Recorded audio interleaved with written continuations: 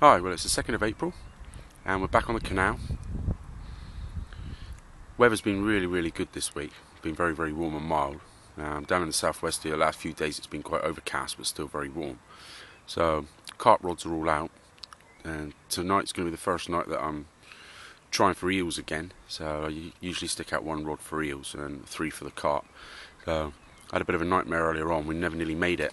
Um, last weekend I didn't fish. I was feeling unwell, so we cancelled it. Thought we'd come this weekend, but rod licenses needed re- renewing for yesterday. For all of those of you that don't know yet or haven't had a reminder, um, so I went to do it online today, and the service was down, wasn't it? So all afternoon I keep refreshing it and trying again and again because obviously I did say to the boy, if I can't get a rod license sorted out, then we're not coming. Simple as that. It's not never worth the risk. I've, I've never been asked. Sod's law, if I come up here without it, I would.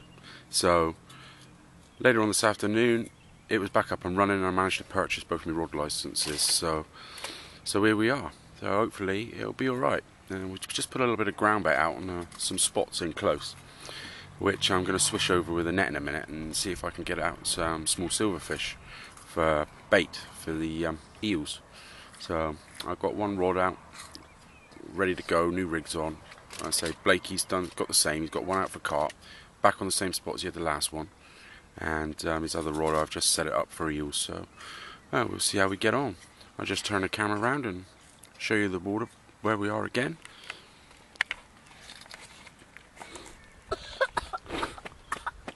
That's my eel rod. boy's choking to death here on a onion ring. These are boys' rods.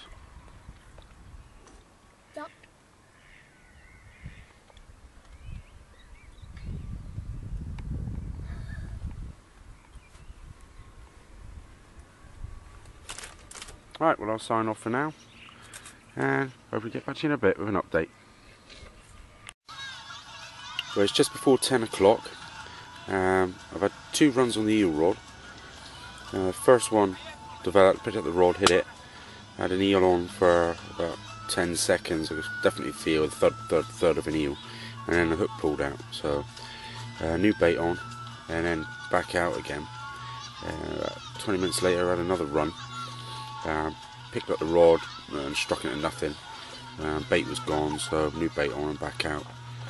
Um, the boys rod's been really really quiet so I've just recast his eel rod out and put it up next to one of the moored boats it's usually a good spot for an eel so hopefully he had a bleep on it a second ago so it could have been a line bite but so we'll just see how we go really like you know my lighter's packed up on me so I can't have a smoke I can't put the heater on so but uh, but not to worry Right, I'll uh, catch you in a bit.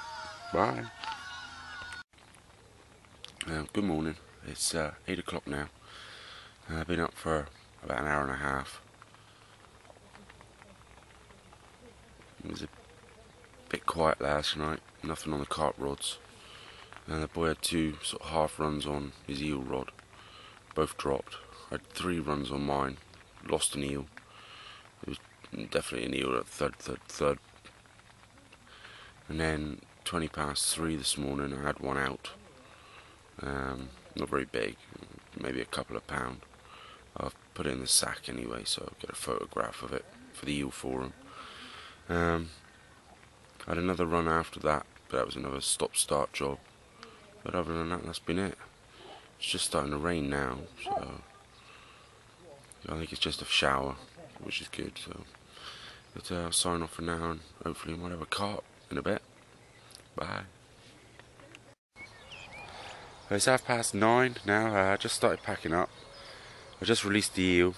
I got a still photo taken with my phone, which I will uh, edit onto the end of the blog. Um, it's been very, very quiet.